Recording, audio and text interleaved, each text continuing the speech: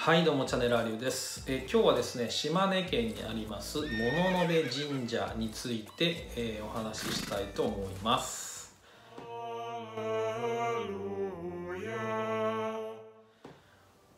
はい、えーということで、え島根県の物部神社なんですけどもこれはですね石見国一宮ということで、まあ、一宮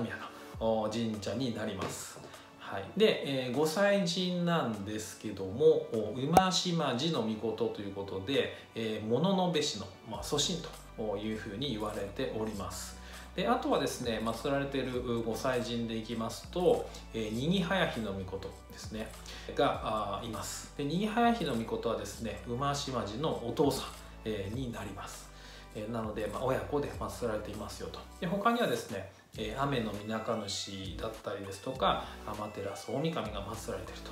あとにぎはやひが作っていたですね、えー剣ですね。も神様として祀られていたり、えーします。はい。でここはですね、まあ、物部市ということで、えー日本をですね、えーまあ、作ってきた中で、まあ、非常に重要なですね、えー士族のおーの、まあ、祖神がですね祀られている場所ということになりますので、えーそうですね日本の歴史を振り返ってみても、まあ、非常に重要な場所だということが言えるんじゃないかなと思います。はい、でまずですねここでご紹介しておきたいのが、まあ、御朱印ですね。はい、物部神社の御朱印は、えーこんな感じです。はい、こんな感じです。私も行ってまいりました。はい、こうですね。はい。で、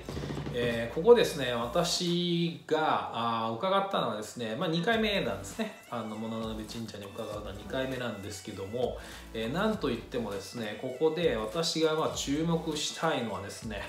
こちらですね、えー徳佐の神宝の、えーお守りがあります、お守りが。はい。で特産の神宝って何なんだと、まあ、10種のですね、まあ、宝ですよっていうことなんですけども、えーまあ、10種類の、お宝の中にですね、こういうですね、これ草草のもののひれと言います、はい、こういうですね、お札がついてたりするんですね。で特産の神宝っていうのはにぎはやひの御事がですね、えー地上に降りてくる時に神様からですね10種類の宝物をですね持って降りていきなさいと。でそれでま国を治めなさいというようなことで授けられたまお宝なんですね。でこれは後にですねあの三種の神器って今でもありますけども三種の神器のまあ元になったものというふうにもこう言われております。はい、で、えーまあ、特産の神宝なんで10種類あるうちの、えー一つ。草草のもののひれと。いうお札がですねついてるんですよ。でこれがなかなか、えー面白いですよね。はいえー特産の神宝のが書かれたですねこういう紙が入っております。ね、いっぱいあります特産の神宝っていうとも10種類、ね、あるんですけどもそのうちの一つが草草のもののひれですね、えー、ひれでいきますと、えあとはですね他に2種類ありましてえーオロチのヒレとハチのヒレというものがあります。で草草のもののヒレということで3つのヒレが、えー、特産の神宝の中にはああります、えー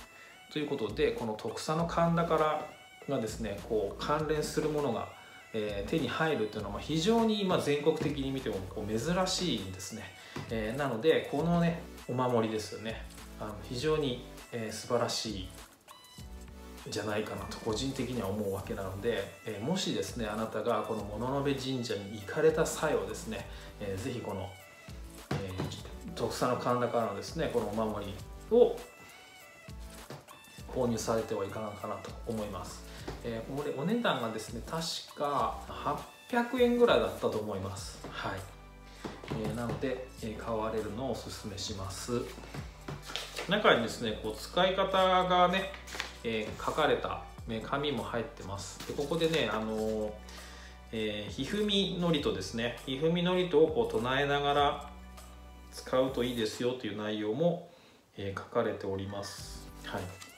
で特産の神宝のですね中身もここに書いてありますね。はい。なのでそうですね。よくはまあ一般的にはですねこの三種の神器っていうのは有名かなと思うんですけどこれの元になったですね徳佐の神田からっていうのもですね非常にこう見ていくと面白いと言いますかね。はい。で神父ですね。神の宝になりますのでこういうところにもですね、えー、ま、注目してですね意識を向けてお参りするのも面白いんじゃないかなと、思います。はい、まあ、そんなわけでえー、石見国一宮物部神社行かれてみてはいかがでしょうか。はいということでチャンネルアーリュウでした、えー、今 LINE で友達登録キャンペーンをやっております。あなたの友達登録お待ちしてます。